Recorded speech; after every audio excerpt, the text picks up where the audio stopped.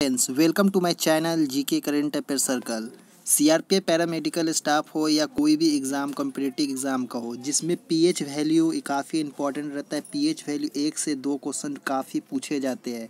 इस एग्ज़ाम के भी इंपॉर्टेंट है इस क्वेश्चन को पूरा वीडियो लास्ट तक देखे, का क्योंकि काफ़ी इंपॉर्टेंट पीएच वैल्यू को कलेक्ट किया। इससे पहले अगर मेरे channel G current affair circle पर पहली बार विज़िट कर रहे हैं तो चैनल को सब्सक्राइब करके, बेल आइकन को प्रेस करके, ऑल पे क्लिक कर दे, ताकि इसी तरह का वीडियो का नोटिफिकेशन मिल जाए।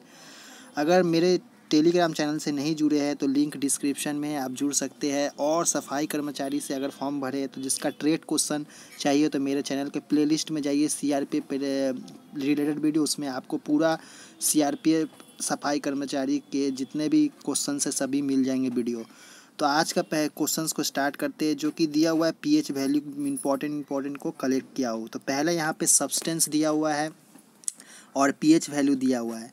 तो पहला नंबर प्योर वाटर शुद्ध वाटर शुद्ध पानी का पीएच वैल्यू कितना होता है? तो शुद्ध वाटर का पीएच वैल्यू सात होता है। उसके बाद ह्यूमन ब्लड यानी मनुष्य का रक्त का पीएच वैल्यू कितना होता है? तो यहाँ पे सात दशमलव पैंतीस से लेकर सात दशमलव पैंतालीस तक, यानी सेवन पॉइंट थ्री फाइव से लेकर सेवन पॉइंट फोर फाइव के बीच में ह्यूमन ब्लड का पीएच वैल्यू रहता है। ये काफ़ी इंपॉर्टेंट है। प्योर वाटर भी पूछे जा चुके हैं काफ़ी। सी वाटर उसके बाद है। सी वाटर का पीएच वैल्यू कितना होता है? तो सी वाटर जो समुद्र का जो पानी होता है, उसका पीएच वैल्यू होता है सेवन पॉइंट फाइव से लेकर आठ एट पॉइंट फोर तक। यानी सेवन सात दशमलव पाँच से लेकर आठ दशमलव चार के बीच में समुद्र के पानी का पीएच वैल्यू होता है। उसके बाद दिया हुआ है अमोनिया का पीएच वैल्यू दिया हुआ है, दस दशमलव छः से लेकर ग्यारह दशमलव छः के बीच में इसका पीएच वैल्यू रहता है। काफ़ी इंपॉर्टेंट पीएच वैल्यू है। मिल्क का पीएच वैल्यू को देखिए, मिल्क जो दूध का पीएच वैल्यू होता है, पीएच मान, वो छः दशमलव पाँच से लेकर छः दशमलव सात के बीच में, यानी सिक्स पॉइंट फाइव से लेकर सिक्स पॉइंट सेवन के बीच में इसका पीएच वैल्यू रहता है दूध का।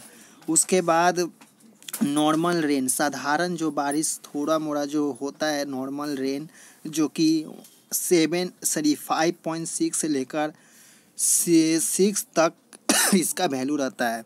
उसके बाद नेक्स्ट क्वेश्चन है, यहाँ पे दिया हुआ एसिड का पीएच वैल्यू दिया एसिड रैन एसिड रैन जो अम्लीय वर्षा होता है, उसका, दिया दिया हुआ पीएच वैल्यू दो से लेकर पाँच दशमलव छः के बीच में इसका पीएच वैल्यू रहता है।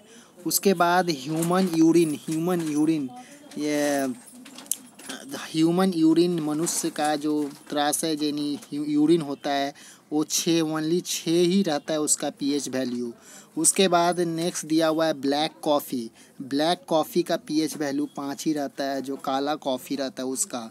उसके बाद नेक्स्ट दिया हुआ है यहाँ पे नेक्स्ट बियर बियर जो होता है अल्कोहलिक पाँच परसेंट उसमें रहता है, जिसमें बियर जिसको बोलते हैं, वो पाँच, चार दशमलव पाँच के बीच बीच में ही आपका पीएच वैल्यू रहता है वाइन्स दारू, जितने भी शराब होते हैं, उसका पीएच वैल्यू दो दशमलव आठ से लेकर तीन दशमलव आठ के बीच में रहता है, इसका डिफरेंस रहता है। उसके बाद विनीगर विनीगर होता है, उसमें आपका दो दशमलव नौ रहता है ओनली सिर्फ़।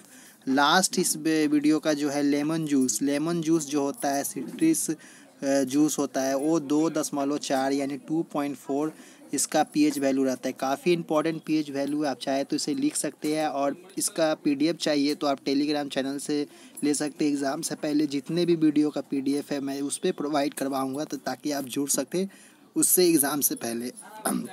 तो इतना इतना इंपॉर्टेंट पी वैल्यू तो मैंने करवा दिया।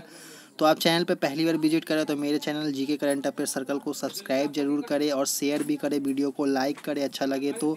तो चलिए नेक्स्ट वीडियो में इसी तरह का मिलते हैं और भी इंपॉर्टेंट इंपॉर्टेंट क्वेश्चन के तरह। Thank for watching next video मिलते हैं।